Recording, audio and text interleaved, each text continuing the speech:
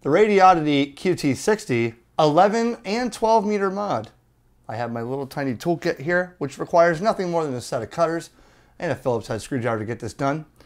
The disclaimer on this video, you're going to lose friends, you will lose respect for modifying a 10 meter radio to 11 meters, and no one will understand why you want 12 meters because I'm on there every day and make probably 40 to 50 contacts a day. So why would you want to modify a 10 meter radio for 11 meters and 12 meters? Well, I kind of got tired of working South Africa, Australia, and Europe on 11 meters, so I started going back to 12. And uh, hey, it's there too. So if you want to get on the air, grab a radio like this, make sure you have your kit, and let's get started.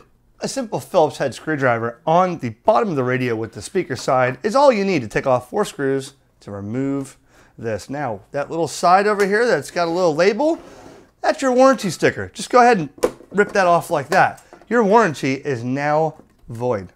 So we're going to take the speaker cable off and I'm going to show you right here where the modification is. Let's zoom in. Okay, all you need is a pair of cutters. I have my little nips right here. These are great for hacking up radios, but I love doing stuff like this. Now that little white jumper, you see that little, you see this little thing right here?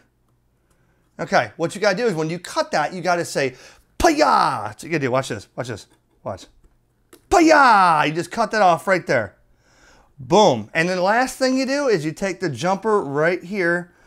It's on the pins that are towards the front. We're going to take that off and put it towards the pins on the back. Oh, missed that pin. There you go. Reassemble the radio and let's see what happens.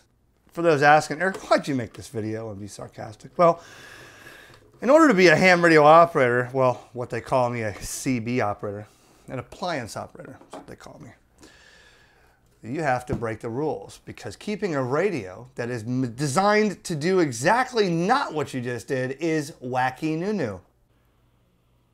And now you can go to 11 meters, but wait, there's more. Pushing the step button here, watch this. If you want to use 10 meters, never fail. There's your 10 meters, but wait, there's more. 12 meter WARC band. All modes, all bands, 10 meters with CTCSS, upper side, lower side, AM, FM, and 11 meters. Warning, this modification will get you hated on YouTube you can unsubscribe and never watch again if you want. 7-3.